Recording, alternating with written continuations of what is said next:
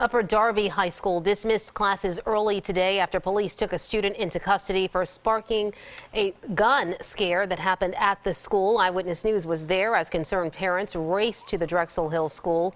The campus was placed on lockdown about 8.30 this morning while detectives conducted an investigation.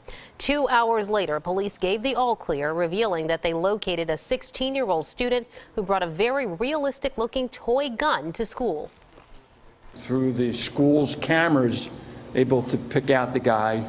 We went up and took him out of his classroom, and in his crotch is the gun. Well, no one was hurt during this incident. Classes will resume as normal tomorrow. Charges are pending against the student taken into custody.